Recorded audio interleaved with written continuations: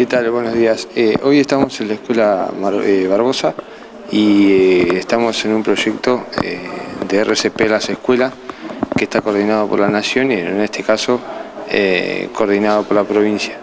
la idea es de llevar el trabajo a todas las instituciones privadas y, estatales también para que tengan un conocimiento tanto el personal docente como los alumnos y, gente llegada a la institución de cómo acceder ante una eventualidad de llegar a la necesidad de, tener que intervenir, ¿no?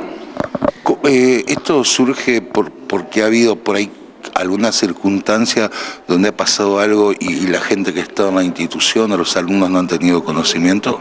Esto básicamente es un proyecto que viene trabajando la Nación desde el año pasado eh, y este año se lleva a cabo eh, la idea es que sea coordinada por el área de la educación física, eh, en el sentido de que llegue a las escuelas. Tengo entendido que también a la ciudad le está trabajando eh, alumnos de la licenciatura de enfermería y me parece que es una herramienta no solo importante, sino que también fundamental para, para cada uno que se puede utilizar no solo en, el área escolar, sino para el día, el día a día de cada uno, ¿no? en la calle, en el hogar, en la escuela un poco de como para capacitar a, todos que a todos los que formamos la comunidad. En el caso nuestro nos toca eh, hacerlo dentro de las escuelas.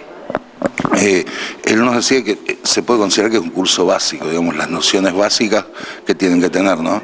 Sí, son nociones básicas, son prácticas, son sencillas, de hecho se, la función nuestra es de facilitadores, digamos, no es una función médica, obviamente, pero es algo que es sencillo, es práctico, como te decía, y eh, aplicable, digamos, para cualquier persona, eh, simplemente para salvar vidas. O sea, simplemente parece algo sencillo, pero tan importante como salvar una vida.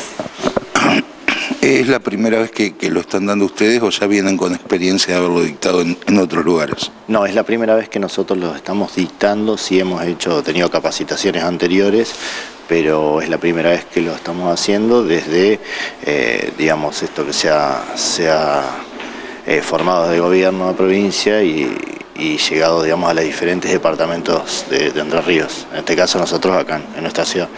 Eh, aproximadamente, ¿qué, tiempo lleva, digamos, en, tiempo cronológico? ¿Cuánto, ¿Cuánto dura la capacitación y además para los chicos? Y esta capacitación dura alrededor de una hora donde nosotros explicamos técnicas eh, de RCP, eh, tanto a cualquier persona como cómo se hace con un niño, cómo se hace con bebés, técnicas de atragantamiento y tenemos también videos explicativos que complementan no solamente la teoría sino la práctica.